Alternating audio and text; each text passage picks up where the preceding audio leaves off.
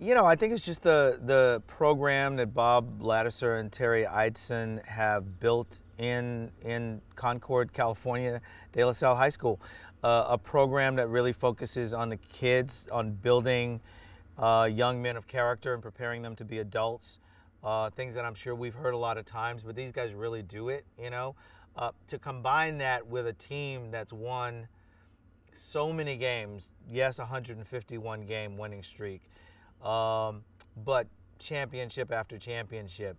To combine that with uh, the kind of program they have and the kind of values that they have is just very extraordinary. Bob Ladouceur is the real deal. I'm incredibly impressed with him. I feel I have an incredible responsibility to try to bring his character and his story to life. I'm under no illusion that we're going to tell every detail of that story. It's too complex, it's too subtle, but I hope that we capture the essence of who he is. I mean, somebody who really cares about the the kids on his team above everything else, above money and fame and you know glory and God knows he's gotten a, a lot of respect, but what he keeps focusing on, no matter how many times he's been offered bigger jobs or whatever.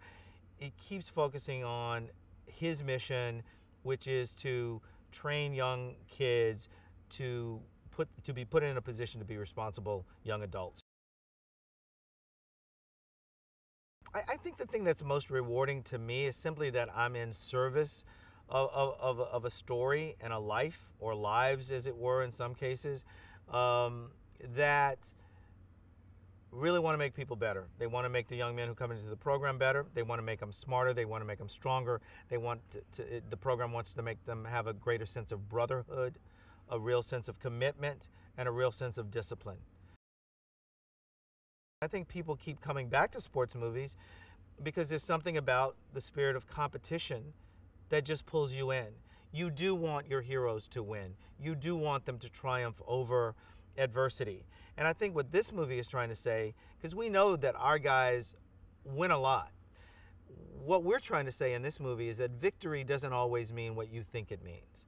And so we want the audience to buy into that. And that's the challenge of this movie. And I think we've met it, which is to pull people into not only that victory on the field, but a higher level of victory as well.